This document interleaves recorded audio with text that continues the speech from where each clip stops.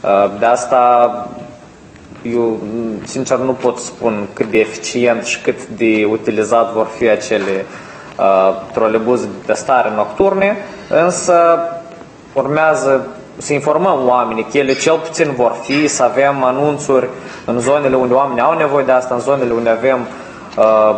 localuri de noapte și plus trebuie să, nu, nu trebuie să tratăm transport public noaptea ca o soluție miracol care o să aducă viața de noapte în Chișinău. Nici pe departe nu o să fie așa, pentru că ca să aduci o viață de noapte în Chișinău trebuie să avem zone unde să fie cât mai multe localuri de noapte, unde să fie centralizat, unde, poți, unde sunt petreceri de away drink, adică ți lua băutura și mergi afară și stai cu tot orașul și, și discuți. Uh, noi nu avem, noi avem în, în centru unde peste tot avem localuri și nu poți fi o rută care să meargă fiecare stradă. Uh, iarăși nu avem uh, încălzire, cel puțin ca măcar scaunele să fie încălzite la stațiile trolebuz și pe timp de iarnă sau toamnă sau chiar primăvară de vreme. Oamenii nu se pot aștepta 40 de minute afară în stațiile răcoroase, de asta iarăși e nevoie de acea aplicație sau măcar un site care să spună peste câte minute va fi